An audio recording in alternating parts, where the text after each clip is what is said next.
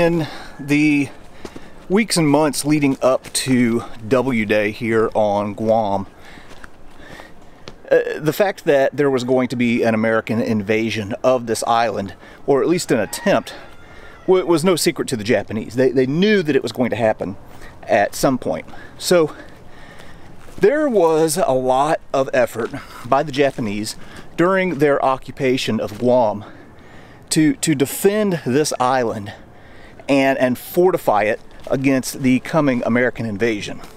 Well, right now, we are in a village called Piti here on Guam, which isn't too far from the, the northern invasion beach where we started off.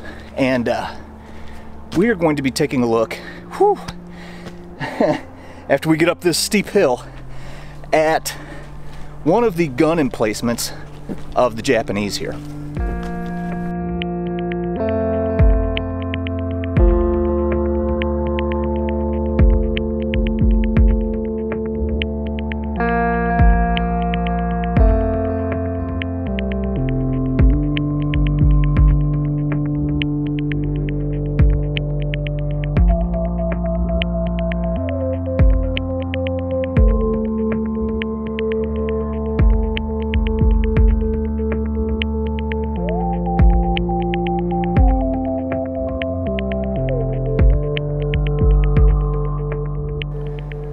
Before we continue on up this hill, I just kind of want to take a look around here and show what an amazing looking place this is.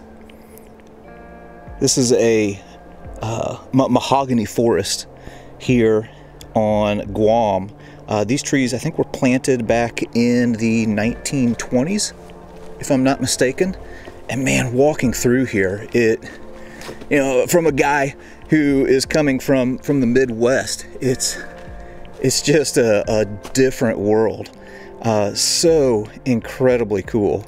And uh, I also think that Guam might have the highest uh, concentration of chickens per square mile uh, than any other place that I've ever been. I don't know if you can hear them, but man, uh, there are roosters crowing all over the place, and I have seen chickens all over this island. All right, we're gonna get on up here to these gun emplacements.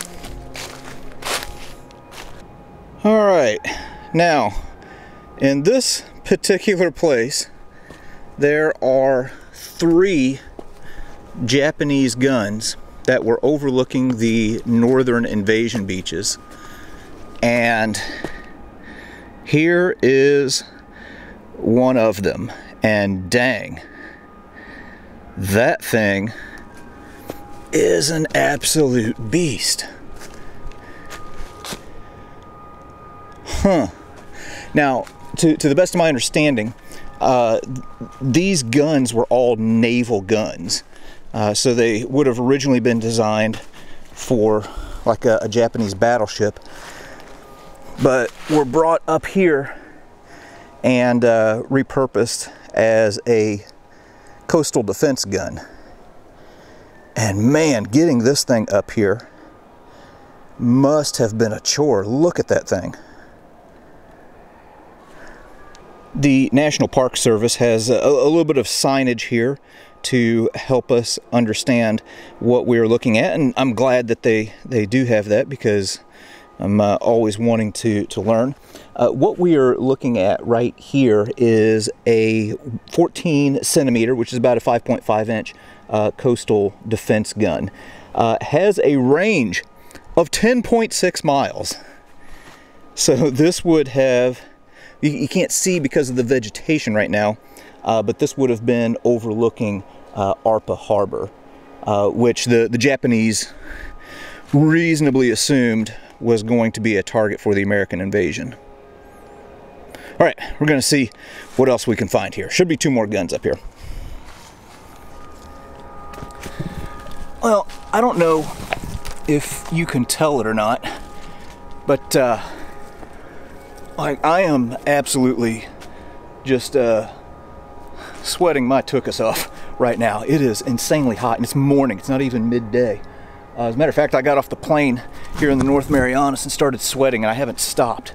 Uh, so I can imagine just how backbreaking and excruciatingly painful it must have been to, to get these guns up here. But it wasn't the Japanese, actually, who were bringing the guns up and doing the labor themselves. They were pressing the local Chamorro people into doing all of this labor. Uh, so, man, that must have been something else. I, have heard a theory. Uh, they, they don't know how they got them up here. Um, but it's thought that maybe they got logs and then, you know, rolled them up. But like, if you, I don't know if you can really tell, but that's, that's a steep grade. That would have been some work getting these guns up here. All right, got another Japanese coastal defense gun here. And uh, this looks to be the same as the other, another 14 centimeter gun. Looks like we have something a little bit different with this one though. With the first gun, it was uh, set in, in like uh, an earthen embankment. Uh, this one has had a concrete wall poured around it. So whenever the Americans landed, like in, in Saipan, uh, they weren't expected to land until like November. Uh, even the Americans had planned on landing in, in November and then it ended up getting bumped up to June. So the, the Japanese defenders weren't quite ready for the Americans whenever they, they got here and were still kind of hastily building these fortifications. But uh, the one for this gun looks to have been, uh, I, don't, I don't know if it was fully completed, but it looks certainly more complete than the others. All right, one more to go.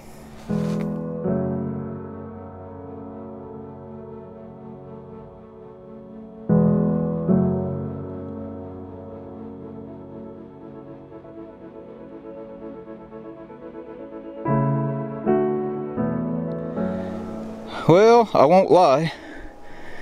On the way in, I completely walked by gun number two because it has fallen over and is sitting over here in the brush. So if we get in here, we can get a little bit closer look at it. Um, yeah, this one, this one is a little worse off than than what the other two were. Uh, but anyway, those, those are the three uh, Piti guns here on Guam. Uh, and to my knowledge, I think that these guns are the only ones that are still in their original emplacement from 1944.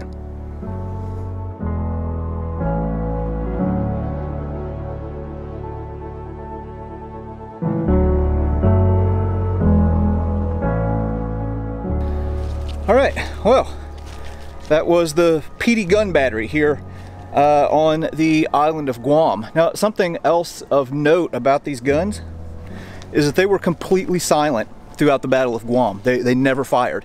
And the reason why is a bit of a mystery.